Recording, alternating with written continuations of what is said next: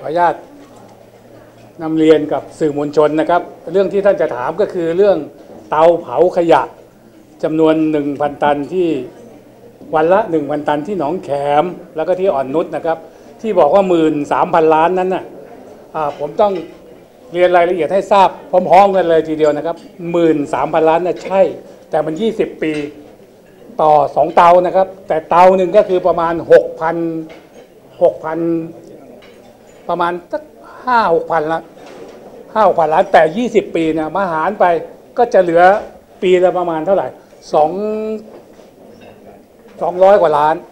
มาคิดเป็นวันเป็นเดือนวันหนึ่งก็ประมาณแปดแสนกว่าบาท คือผมต้องเรียนอย่างนี้นะที่มันมีอยู่แล้ว เริ่มก่อสร้างตั้งแต่ปี 2556 แต่มาเปิดเดินเครื่องได้เมื่อปี 2559 นั่นนะราคาตันละ ตันละนะครับ 970 บาท แต่อันใหม่เนี่ยตันหนึ่งไม่เกินเอ่อไม่เกิน 900 บาท ไม่ถึง 900 บาท ผมยืนยัน ในช่วงที่เขาก่อสร้างเมื่อปี 56 กับถึงปีที่จะเปิดปี 64 เนี่ย ต่างกัน 8 ปี ราคาถูกกว่า 800 ราคาถูกกว่ากันเนี่ยเกือบร้อยบาท ต่อตันนะครับ ต่อตัน เหตุผลตรงนี้เนี่ย เพราะฉะนั้นไอ้คำว่าหมื่น หมื่นสามพันล้านน่ะมัน20ปี แล้วการก่อสร้างเนี่ยคนที่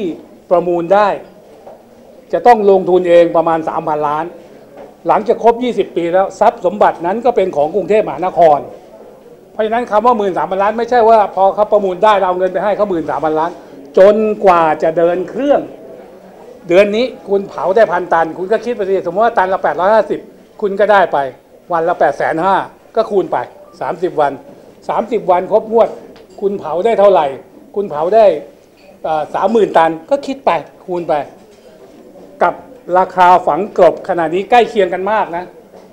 คือต้องทำความเข้าใจกันก่อนว่าหมื่นสามพันล้านเนี่ยมันคือ 20 ปี แล้วถ้าหารมาเป็นตันเนี่ยถูกกว่าที่มีอยู่แล้วเนี่ยเมื่อปี5 56แล้วเปิดดำเนินการเมื่อปี59เก้าเนี่ย970แต่ยังไงของเราก็ไม่ก็ไม่ถึง900ซึ่งขณะนี้เนี่ย เราก็ยังไม่ต้องมัดให้ใคร ถามว่าเข้าได้ไหม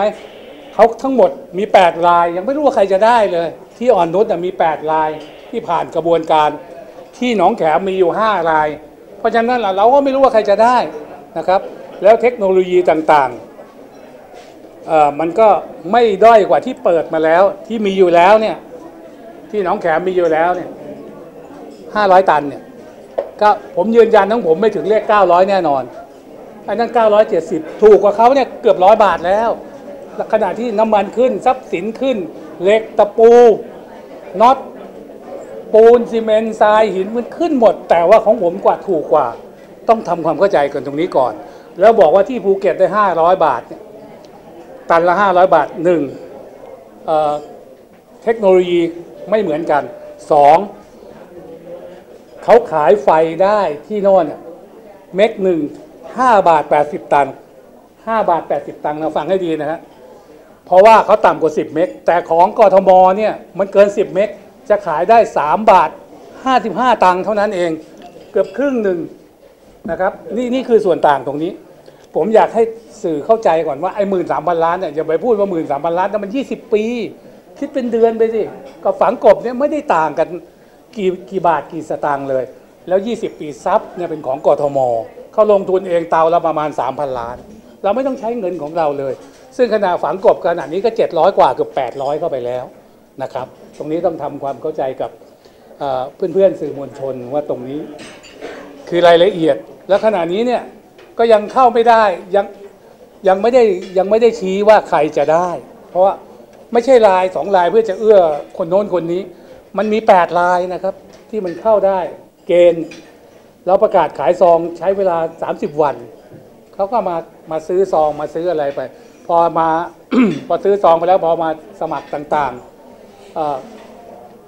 ปรากฏว่ามันเกณฑ์มันได้มาตรฐานแค่ 8 รายเท่านั้น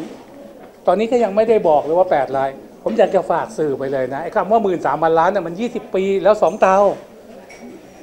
กับราคาฝังกบฝังกบขนาดนี้เนี่ยเอาไปฝังตามต่างจังหวัดเนี่ย ในอนาคตข้างหน้า ถามว่าจังหวัดไหนจะยอมให้ฝังบ้าง ผมถามแค่เนี้ยคือน้ำที่มันฝังกบไปมันก็จะออกข้างๆห่างจากที่กองขยะไปประมาณสักหนึ่งกิโลเนี่ยปลูกอะไรถ้าไม่ได้แล้ว แล้วต่อไปประชาชนก็จะเดือดร้อน เกี่ยวกับเรื่องมลภาวะที่แทรกซึมไปใต้ดินต่างๆเนี่ยครับ เพราะว่าเราต้องเข้าใจอยู่อย่างว่าขยะเมืองเขตร้อนอย่างของเราเนี่ยมันเป็นขยะเปียกเยอะกว่าขยะแห้งทางยุโรปเนี่ย ก็กินอาหารแห้งมากกว่าเราใช่ไหมกินขนมปังกินอะไรเนี่ย ของเรานี่มันต้องมีต้มยำตำแกงอะไรต่างๆ มันเป็นอาหารเปียก มันก็เลยการฝังกบเนี่ยกว่าจะเอาไปฝังกบอะไรที่มันจะไปฝังเนี่ยมันก็จะแพร่กระจายออกไปได้ ตรงนี้ต้องทำความเข้าใจกันก่อนนะครับ ใครสงสัยอะไรถามเลยนะว่าคะกับประเด็นที่มีการตั้งข้อสังเกตคือมีการล็อกสเปคเพื่อเอื้อประโยชน์ให้กับบริษัทเอกชนบางแห่งตรงนี้นี่คือล็อกสเปคทั้งแปดลายก็ล็อกให้ทั้งแปดลายเลยเหรอ มันไม่ได้ล็อกเลยนะเพราะงั้นถ้าล็อกกันแปดลายมันตีกันตายเลยนะแปดลายอะแล้วใครจะได้อะคงไม่หัวกันหรอกมั้งนะผมยืนยันไม่มีหรอก กระบวนการก็เดี๋ยวรอเสนอขึ้นมาดูว่าใครใครได้ในแปดคนเนี่ย ในแปดบริษัทเนี่ย คือไม่ต้องห่วงหรอกขณะนี้เนี่ย มันมีบริษัทหนึ่งก็ไปฟ้องศาลปกครอง ไปร้องสตงไปร้องปปชปปชแล้วก็ชี้แจงไปเรียบร้อยแล้ว สตงก็ไปชี้แจงไปเรียบร้อยแล้วศาลปกครองก็ไม่รับ ยกฟ้องยกคำร้องไปแล้ว คือผมยืนยันว่า ผมก็กว่าจะเกษียณรายการมาตำรวจมันเป็นอาชีพสุ่มเสี่ยงอยู่แล้วนะกว่าจะรอดปากเหี่ยวปากกามาทั้งเกษียณเนี่ย ผมก็นั่นอยู่แล้ว ผมไม่อยากเอาชื่อเสียงผมมาทิ้ง จนเป็นตาแก่คนหนึ่งแล้วมาให้เขาด่าตอนแก่เนี่ยผมไม่ทำหรอกนะ ผมไม่ทำหรอกไม่ต้องห่วง ทุกอย่างทุกขั้นทุกตอน เรายืนยันได้ หน่วยไหนก็ได้ตรวจสอบได้หมดปปชเขาก็มาตรวจสอบแล้วสตงก็มาตรวจสอบแล้ว เหลือผู้ตรวจการแผ่นดิน ผมไม่รู้ว่ามาตรวจสอบอย่างศาลศาลปกครอง ก็มาตรวจสอบมาอะไรเรียบร้อยแล้วก็ก็ยกคำร้องไปแล้ว เพราะฉะนั้นเนี่ยผมผมยืนยันด้วยเกียรติเลยนะว่าไม่มีปัญหาหรอก ถ้าเป็นบริษัทเดียวหรือสองบริษัทเนี่ยมันจะรู้กันได้ว่า สมมติว่าผมเป็นเจ้าของบริษัทเดียวกันแต่ผมก็ใช้ชื่อผมบริษัทหนึ่งใช้ชื่อถ้ามันลบบริษัทหนึ่งแล้วก็มาหัวกัน แล้วก็ให้แพ้ชนะกันไม่เป็นไรเจ้าของเดียวนี่มันไม่ใช่นี่มันแปดบริษัทนะที่มีคุณสมบัติได้เกณฑ์นะครับหากว่าบริษัทไหนได้คนที่จะต้องเป็นคนเซ็นลงนามนี่เป็นตัวท่านผู้ว่าเองเลยค่ะคือมันมีรองผู้ว่าแล้วไงแล้วไม่ต้องห่วงนะรองจักรพันธ์ที่เขาออกไปเนี่ย ผมเสียดายเขามากเลย สื่อเคยถามผมว่า ตอนนั้นมีข่าวลือว่าจะเปลี่ยนรองผู้ว่าบอก ถ้าจะเปลี่ยนก็ไม่ใช่จักรพันธ์จำได้ไหมทุกคนคงจำได้นะจักรพันธ์เนี่ยถ้าจะเปลี่ยนไม่ใช่จักรพันธ์เขาก่อนปีใหม่ที่ผ่านมาเนี่ย เดือนธันวาปีหกหนึ่งเนี่ยเขามาขอบอกพี่ ผมหนักอะผมขอไปบอกเฮ้ยไปไม่ได้อยู่เป็นเพื่อนกันก่อน ช่วยกันหน่อย ช่วยกันก่อน อันนั้นคือข้อเท็จจริง แล้วหลังจากประมาณสักเดือนกุมภาหรืออะไรก็ พี่ผมจะขอพักบอกอย่าเพิ่งช่วยกัน คราวนี้ก็ก็วันเสาร์วันอาทิตย์ก็ยังโทรคุยกันอยู่ในเรื่องดูน้ำท่วมน้ำท่วม ปรากฏว่าเขาก็มาแล้วก็ปิดเครื่องหายไปเลย ไม่ใช่เรื่องนี้ไม่ต้องห่วงนะครับ ไม่ต้องเรื่องนี้แล้วว่าคนที่บอกว่าจะกลัวเรื่องเซ็นเนี่ยเดี๋ยวใครมาเป็นรองผู้ว่าคนใหม่เขาก็ต้องเซ็นเพราะถ้าผมเซ็นคนเดียวก็ไม่ต้องมีรองผู้ว่าสิจะมีทำไม ผมก็เป็นผู้ว่าคนเดียวจบ ไม่ต้องมีรองผู้ว่าเขามี เหมือนนายกรัฐมนตรีอะทำไมต้องมีรองนายกห้าคนเพื่อไปผ่องงานช่วยกัน ถูกไหมครับ นี่คือข้อเท็จจริง ยังไม่รู้ยังไม่ได้คิดสองคนเนี่ยแต่ยังไม่ได้แบ่งงานไงศักชัยกับท่านโสพลก็เดี๋ยวยังคิดดูก่อนว่าจะแบ่งยังไงยังไง คือทุกอย่างเนี่ยผมให้เขาไปศึกษาก่อนว่า ใครทำอะไรที่มันเหมาะสม มันต้องดูตามเหตุตามผลว่า ใครเหมาะกับงานอะไร อย่างเช่นลองสกลทีเนี่ย ให้ไปดูโยธาก็ไม่รู้เรื่องเขาต้องดูในสิ่งที่เขาเข้าใจ ถูกไหมนี่เราก็ต้องพูดกันตรงๆอย่างผมเนี่ย ถามว่าให้ไปดูวัฒนธรรมรู้เรื่องไหมก็ไม่รู้ มันไม่มีใครรู้ทุกเรื่องอะนะมันไม่มีใครรู้ทุกเรื่อง เพราะฉะนั้นเขาจะถึงจะต้องมีรองผู้ว่าเอาไว้ช่วยกันคิดช่วยกันทำแล้วไม่ต้องห่วง ไม่ผมตอบไปเลยไม่ต้องมาถามว่า ถ้ารองจักรพันธ์ลาออกไปแล้ว คนต่อไปคือรองทวีศักดิ์เบอร์สองจะเซ็นเนี่ยไม่ใช่ หน้างานใครหน้างานมันคนนั้นก็เซ็น ไม่ใช่บอกว่าลาลาออกเพื่อหนีกลัวจะเซ็น ไม่ต้องกลัว เพราะเราไม่ได้ให้เขาเซ็นอยู่แล้ว คุณอยู่ผมก็ไม่ได้ให้คุณเซ็น คนที่เซ็นคือคนที่รับผิดชอบหน้างาน นี่คือคือเราแบ่งงานเป็นเป็นถูกต้องอย่างเช่น สมมติว่างาน รองเอาเกิดรองทวีศักดิ์ไม่มีรองสกลทีเบอร์สามจะต้องเซ็นไหมไม่ต้องเซ็นรองสกลทีก็ไม่ต้องเซ็นเพราะเขารับผิดชอบหน้างานของเขานะครับ อันนี้คือข้อเท็จจริงนะผู้ว่าคะอยากให้ว่าออกสองคนกระทบกับการทำงานหรือมีปัญหาเกี่ยวในเรื่องการทำงานเราทั้งภาครัฐผู้บริหารกำลังโดยรวมอย่างนี้มีผลอะไรไหมคะไม่มีอะไม่มีแต่ว่าก็บอกได้อย่างเดียวว่าผมเสียดาย เสียดายท่านจักรพันธ์แต่ว่าเขา สุขภาพด้วยอะไรด้วยเขาก็อยากพักด้วยเขาเป็นคนดีผมยืนยันที่อยู่ด้วยกันมาเกือบเกือบสามปีเนี่ยนะคือสนิทกันมากตั้งแต่ยังรับราชการอยู่แล้วพอเขาเกษียณครับพอเขาแต่งตั้งผมวันที่สิบแปดตุลาเขาเพิ่งเกษียณได้สิบแปดวัน ผมก็ไปตามเขามาจากบ้านเลยเฮ้ยน้อยมาช่วยกันหน่อยนะมาเป็นรองผู้ว่าหน่อยก็ก็เราเห็นว่าเขาจะช่วยงานเราได้ก็ไปเอาเข้ามา แต่ว่าผมอาจจะบกพร่องไปใช้เขาเยอะเกินไปเปล่าไม่รู้นะ เรื่องอะไรคะเขาก็อยากพักผ่อนท่านแล้วเสียดายแล้วอย่างท่านทวีศักดิ์นี่เพราะอะไรอะได้ให้เหตุผลต้องถามเขานะเพราะอะไรที่ออกผู้ว่าคะเรียนถามว่าตั้งแต่ชุดผู้บริหารที่ท่านผู้ว่าเลือกมาตั้งแต่ท่านมาดำรงตำแหน่งผู้ว่ามันมีการเปลี่ยนผ่านชุดผู้บริหารมาตลอดส่วนใหญ่เป็นประเด็นปัญหามาจากอะไรคะหรือว่าเป็นในส่วนตัวที่ทางรองอยากลาออกใช่ใช่แบบอย่างคนเนี้ยผมตอบได้เต็มปากเต็มคำเลยว่าอย่างเอ่อ รองน้อยรองจักรพันธ์เนี่ย ผมว่านะเขาเหนื่อยอะผมว่าผมว่าเขาเหนื่อยเขาไม่ได้หนีปัญหาหรอกเขาเป็นคนสู้สู้ปัญหาฝนตกน้ำท่วมร่างกายสุขภาพแกไม่ดีก็ไปจนกระทั่งผมต้องดุเลยบอกเฮ้ยไม่ต้องตื่นตีห้ามาถึงที่ทำงานหรอกเขาเป็นอย่างนั้นจริงๆนะเขาบอกถามว่าทำไมมาเงี้ยผมนอนไม่หลับพี่ตีห้ามาแล้วก็ไปตรวจงานบอกเฮ้ยรักษาสุขภาพตัวเองบ้าง ให้พักบ้าง ผมต้องบังคับเขานะบอกต่อไปนี้ ไอ้ส่วนหน้าเนี่ยห้ามไปนำเขาไปนะ ให้พักบ้าง เขาก็แบบเป็นคนขยันนะผมเสียดายเขามากนะแล้วท่านอื่นๆล่ะคะท่านที่อื่นๆก็ช่วย หมายความว่าอย่างเช่นท่นอื่น อย่างเช่นท่านอำนวยหรือว่าท่านอะไรที่เคยออกไปก่อนหน้านี้แล้วคือไล่ไปเลยพี่ติ๋มเนี่ยพี่ติ๋มก็ยังบ่นอยู่เลยว่าอยากมาช่วยแต่สุขภาพเขาไม่ดี ก็เขาเป็นที่ทราบกันอยู่ กว่าผมจะให้เขาออกเนี่ยใช้เวลาเดือนหนึ่งนะก็หลอกปรากฏว่าเขาอยู่โรงพยาบาลตลอดพี่ติ๋มเนี่ยนะที่ออกไปแล้ว ท่านจินทัศน์ค่ะ ท่านจินทัศน์ก็คนที่มาแทนก็เพื่อนเขาแหละก็อยู่ด้วยกันนั่นแหละท่านจินทัศน์ไอ้ที่ไปแทนรองอำนวยอะก็นั่นเขาก็รุ่นเดียวกันก็ส่งไม้กันก็ว่ากันไปไหนฮะท่าดท่านจินทัศน์ออกก็บอกให้มาเป็นที่ปรึกษาเขาไม่ได้หนีไปไหนนะไม่ได้น้อยอกน้อยใจอะไรก็ตอนนี้เขายังอยู่เป็นที่ปรึกษานะครับ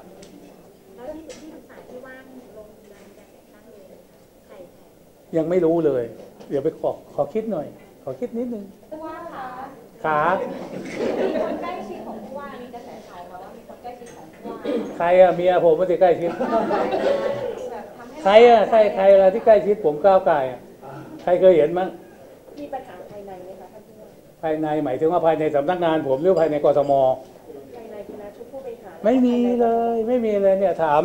ถามที่ที่ประธานที่ปรึกษาเนี่ยคนควบคุมที่ปรึกษาทั้งหมดเนี่ย ผมยืนยันว่าไม่มีอะไรเลย ผมมาเอ่อมาทำตรงนี้ ผมเคยพูดตลอดเวลา ผมไม่ใช่กรุงเทพแล้วก็มาทำเพื่อกรุงเทพสิ่งผมเป็นน้ำที่เต็มแก้วแล้วนะเอาอะไรมาเทให้อีกเนี่ย มันก็ล้นออกแล้วนะครับ แล้วก็ไม่ได้ห่วงเรื่องอื่นแล้ว เรื่องที่ว่าคนมีก้าวไก่ายงาน ผมไม่มีผมเป็นคนเฉียบขาดมาตั้งนานแล้ว ผมตัดสินใจอะไรก็คือตัดทำอย่างนั้น ไปถามถามคนที่ผมปกครองดูได้ตำรวจ ทั้งทั่วประเทศไปถามดูถ้าผมชี้ว่า เอาอย่างนี้ก็คืออย่างนี้จบ เชื่อผมเถอะด้วยเกียรติเลยนะ แล้วไม่ไม่ไม่มีทำอะไรให้มันเสียหายหรอกสองอย่างใหม่ที่ท่านผู้ว่าเลือกเข้ามานี่ท่านผู้ว่ามองจากอะไรบ้างคะแล้วก็เลือกออกมาก็มองจากหน้างานมองจากการทำงาน มองจากการทำงาน คืออย่างท่านศักดิ์ชัยเนี่ย เขาก็ดูหน้างานทางด้านโยธาเขาเป็นผู้จัดการสำนักโยธาพังเมืองอะไรต่ออะไรเนี่ยแล้วก็ก็ไปประสานกันมาบอกเอาไหมลาออกมาช่วยกันหน่อยนะ อีกกี่เดือนไม่รู้อะแต่แล้วแต่จะมีการเลือกตั้งผู้ว่าคนใหม่ก็มาช่วยกันหน่อย ส่วนอีกคนนึงพลตำรวจโทโสพลเนี่ยเขาก็เคยบริหารหน่วยใหญ่มาแล้วนะแล้วก็เป็นฝ่ายอำนวยการของสำนักงานตำรวจแห่งชาติเขาจะละเอียดอ่อนเกี่ยวกับเรื่อง เออเรื่องข้อบังคับเรื่องระเบียบเรื่องกฎหมายต่างๆเนี่ยก็จะให้เขามาช่วยดูตรงนี้ เพราะเรื่องสำนักงบเนี่ย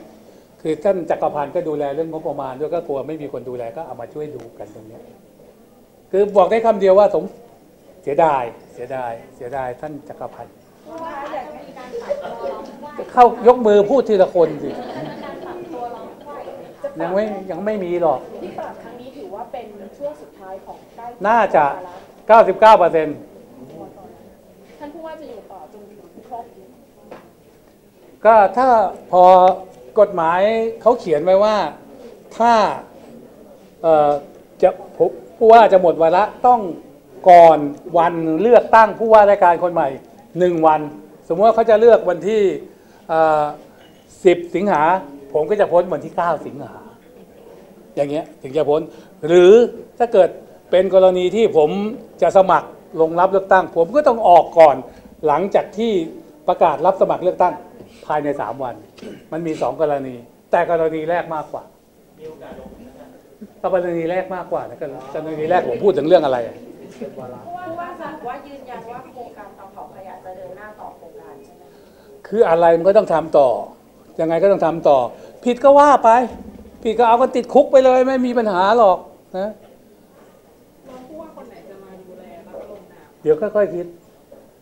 มันจะยิ่งช้าไปไหมคะเพราะว่าโครงการนี้ก็เป็นที่คือเราคืออย่างนี้นะเป้พี่พี่อยากจะให้มันมันโปร่งใสมันจับต้องได้หยิบหยิบได้ต้องได้ แต่คือไอ้เรื่องหยุดไปเนี่ยมันหยุดไม่ได้หรอกจะปล่อยให้ฝังกบกันอยู่อย่างนี้ทั้งชาติทั้งปีเหรอทั่วโลกมันจะไม่มีแล้วนะ แล้วจะไปทิ้งที่ไหนอะคราวเนี้ยผู้ว่าคะอยากให้ชี้แจงถึงขั้นตอนการจัดซื้อจัดจ้างครั้งนี้ค่ะว่าวิธีการที่เราต้องให้คะแนน ด้านเทคนิคด้านราคาค่ะว่าทำไมเราถึงใช้วิธีนี้กับโครงการนี้อ๋ออย่างนั้นต้องถามสำนักอะผมไม่รู้หรอก คือผมมันจะรู้ต้องกระสกระเบือจะเรือดำน้ำมันไม่ใช่อะนะอ่ามันคนเราเนี่ยผมเก่งทำข้าวแกงขายจะให้ผมไปขายขนมหวานก็ไม่ใช่นะคนเราเก่งอย่างเดียวก็พอแล้วขอให้เก่งเถอะพออ้าวทางนี้ที่แกงครับผมต้องต้องก่อนอื่นต้องเรียนอย่างนี้ก่อนนะครับว่าโครงการเตาเผาขยะเนี่ยนะครับ การดำเนินการเนี่ยเราดำเนินการตามพรบรักษาความสะอาดปี 60อันไหนเดี๋ยวหยิบฮะ2560 เนี่ยนะครับ ได้ออกมาในเรื่องของการอ่าถ้าถ้าอ่าถ้าองค์กรปกครองส่วนท้องถิ่นนะครับ ถ้าจะมอบหมายให้เอกชนดำเนินการในเรื่องของการกำจัดมูลฝอยเนี่ยนะครับ ก็จะต้องปฏิบัติตามพรบอ่ารักษาความสะอาดมาตรา 34ทับหนึ่งนะครับ อันนั้นหมายถึงว่าการมอบหมายให้เอกชน มาดำเนินการทำกิจการแทนกรุงเทพมหานครนะครับไม่ได้หมายความว่ากทมเนี่ยไปจ้างเอกชนมาก่อสร้าง ไม่ใช่กทมไปซื้อโรงงานมาติดตั้งนะครับ แต่อันนี้เป็นการมอบหมายให้เอกชนมาลงทุนตั้งแต่การก่อสร้างโรงงาน ติดตั้งเครื่องจักรโอเปเรตโรงงาน บริหารจัดการทั้งหมดในระยะเวลาที่กำหนดนะครับ อันนั้นคือตามพรบรักษา แล้วพรบรักษาเนี่ยก็ต้องไปออกประกาศกระทรวงมหาดไทย เรื่องการจัดการบุญฝอยพศ 2560กำหนดรายละเอียดลงไปอีกในเรื่องของการจัดซื้อจัดจ้าง หรือในเรื่องการดำเนินการที่จะจ้างเอกชนที่จะมอบหมายเอกชนมาดำเนินการนะครับ อันนั้นน่ะเขียนไว้ค่อนข้างชัดเลย ถ้าเป็นเรื่องของการกำจัดบุญฝอยเนี่ยจะต้องปฏิบัติอย่างไรบ้าง ซึ่งกทมเราก็ปฏิบัติตามกฎหมายฉบับนี้ เราไม่ได้ดำเนินการตามพรบจัดซื้อจัดจ้างนะครับ อันนี้ต้องเข้าใจตรงนี้ก่อนเพราะว่า ส่วนใหญ่จะเข้าใจผิดว่าเนี่ยเราไปทำการซื้อของมาหรือไปจ้างเอกชนมาดำเนินการแล้ว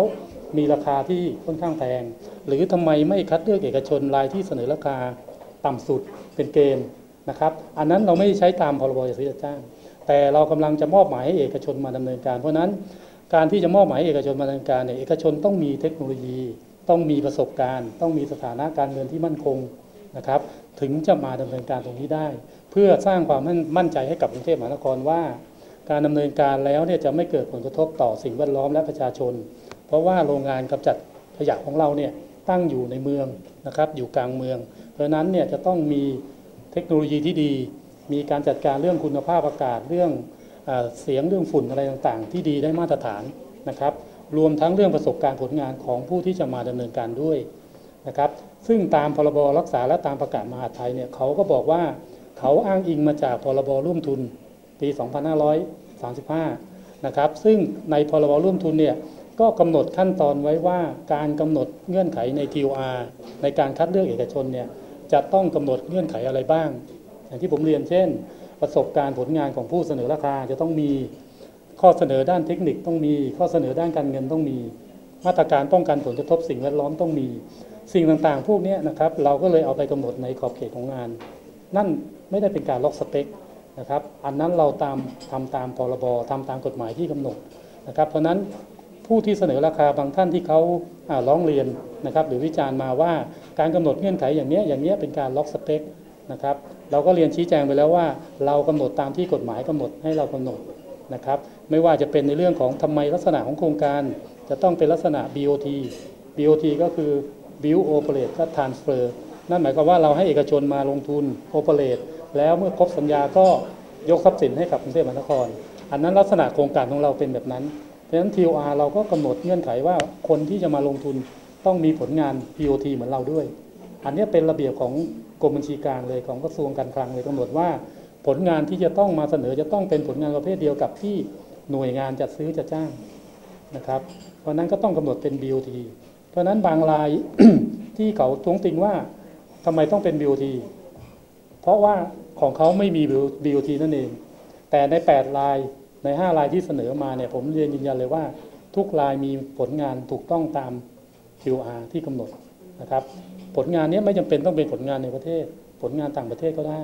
นะครับ เพียงแต่ว่าผู้เสนอราคาเนี่ยก็ต้องไปทำสัญญาจอยเวนเจอร์ร่วมกัน แล้วก็เอาผลงานมาเสนอกับกรุงเทพมหานครนะครับ อันนี้ก็เป็นเงื่อนไขหรืออา บางรายก็ก็ก็ก็ท้วงติงและร้องเรียนว่าทำไมผลงานต้องกำหนดว่าจะต้องผ่านรายงานผลกระทบสิ่งแวดล้อมมาแล้ว หรือ EAA มาแล้ว อันนี้ก็เหมือนกัน อันนี้เป็นตัวที่กำหนดในพรบในในตัวพรบร่วมทุนกำหนดอยู่แล้ว ว่าจะต้องผลงานจะต้องผ่านมาตรฐานเรื่องสิ่งแวดล้อมนะครับ เพราะตัวนี้จะเป็นตัวที่เรามั่นใจได้ว่า เอกชนที่มีผลงานแล้วทำมาแล้ว และผ่านรายงานผลกระทบสิ่งแวดล้อมมาแล้ว เราเชื่อมั่นว่าถ้าเขามาลงทุนแล้วเขาจะสามารถ ทำให้ไม่เกิดผลกระทบต่อสิ่งแวดล้อมได้ อันนี้ก็เป็นความเชื่อมั่นของกรุงเทพมหานครที่เราก็ต้องกำหนดผลงานตรงนี้ไปนะครับ ซึ่งเอกชนที่เสนอเนี่ยทุกรายมีหมดนะครับไม่มีรายไหนไม่มีเลย แล้วเราก็ให้คะแนนหมด ทุกรายให้คะแนนหมด เพราะนั้นจะมีบางรายที่บอกว่าทำไมต้องกำหนดอย่างนี้อย่างนี้เพื่อเป็นการเอื้อให้กับเอกชนรายใดรายหนึ่ง จริง ๆ ไม่ใช่ เพราะทุกรายที่เสนอมาเอาผลงานทั้งในประเทศต่างประเทศ แล้วก็เป็นผลงาน ที่ถูกต้องตามเงื่อนไขของเราด้วยนะครับเพราะนั้นเนี่ยไม่ได้หมายความว่ามีแค่เจ้าเดียวในเมืองไทยเมื่อไหร่มีทุกเจ้านะครับ อันนี้ก็เรียนเรียนในเบื้องต้นว่า เราไม่ได้ดำเนินการอะไรที่เอื้อประโยชน์ให้กับรายใดรายหนึ่ง แต่เรากำลังมองถึงว่ากรุงเทพมหานครจะได้อะไร เราจะทำโรงงานจัดการขยะของเรา เราต้องมีระบบกำจัดขยะของเราเอง เพราะทุกวันนี้เราอาศัยพื้นที่จากต่างจังหวัดที่เราขยะไปฝังกบ วันหนึ่ง ถ้าปลายทางมีปัญหาไม่ว่าจะเกิดอุทกภัยน้ำท่วมไม่ว่าจะเกิดการต่อต้านจากประชาชนเนี่ยเราไม่มีระบบกำจัดของเราเอง แล้วเราจะทำอย่างไรนะครับเพราะฉะนั้นเราต้องมีระบบกำจัดของเราเอง ขยะเกิดบ้านเราเราก็ต้องกำจัดเอง เพราะฉะนั้นเราก็ต้องสร้างโรงงานเตาเผานะครับ ซึ่งเป็นไปตามนโยบายของรัฐบาลเป็นไปตามยุทธศาสตร์ชาติ 20 ปี ที่ต้องการเปลี่ยนขยะให้เป็นพลังงาน และลดการฝังกบลง เพราะการฝังกบเนี่ยส่งผลกระทบต่อ สิ่งแวดล้อมต่อสภาพภูมิอากาศมากกว่าเตาเผา4เท่านะครับ เพราะฉะนั้นอันนี้เป็นการที่เราศึกษาแล้วดีแล้วเราถึงได้ทำเตาเผาครับ มีโครงการไหนใช้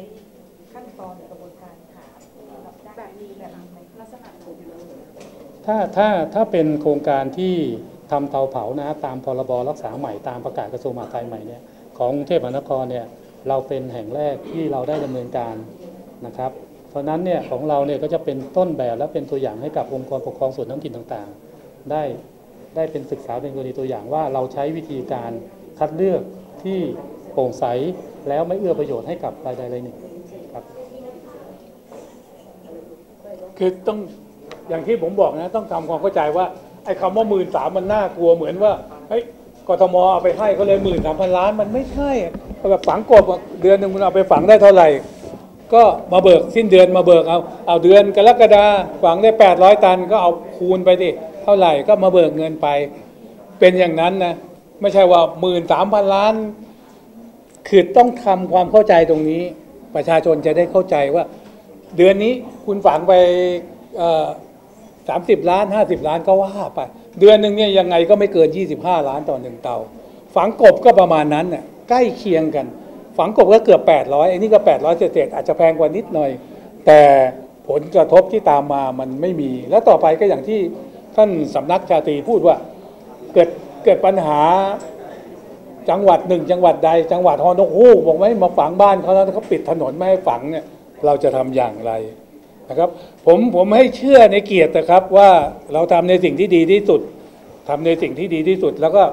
ไม่ได้เอื้อให้ใครหรอกแปดลายไปเอื้อให้ใครมันก็ทะเลาะกันตาย จะไปให้ใครอะแปดลาย คือคนที่มีสมบัติคุณสมบัติได้ก็ มันไม่ใช่มีลายสองลายมีต้องแปดลายกดติดตามและกดกระดิ่งแจ้งเตือนจะได้ไม่พลาดคลิปใหม่ๆ จากดิว18 กันนะคะ